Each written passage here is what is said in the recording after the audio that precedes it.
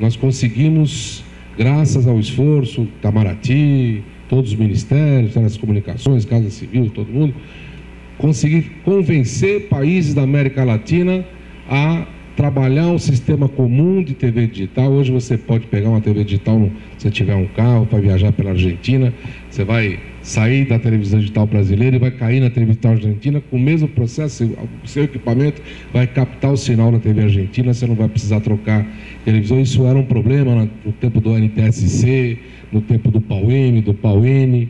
Hoje você tem o mesmo sistema em toda a América Latina, em parte da América Central, e agora, pasmem os senhores, principalmente pasmem os europeus, a gente está na África.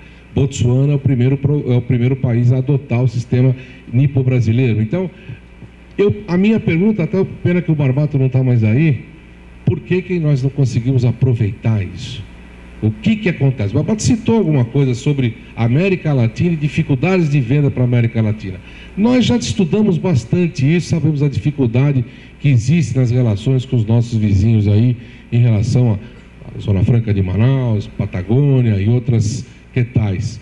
A gente precisa fazer Mercosul, barreiras, a questão de você. Agora tem um grande, uma grande oportunidade de avançar na África. A África é um continente que, salvo, salvo algumas exceções, tem aí a possibilidade de ir direto para o conhecimento digital. Nós somos um país audiovisual, nós tivemos pouca possibilidade de ter a parte livresca no Brasil. Mas a nossa população geral, ela é uma população audiovisual, formada pelo rádio e pela televisão. A África tem a chance de ir direto para o digital. Então é uma grande oportunidade da gente poder ter os nossos produtos, componentes, pers perspectivas de trabalhar em prol, inclusive, do desenvolvimento conjunto Sul-Sul. Eu acho que essa oportunidade a gente não pode perder. Está aí aberta e, quem sabe, a gente possa influenciar empresários, governo, os estados vizinhos a trabalhar nesse sentido. Muito obrigado.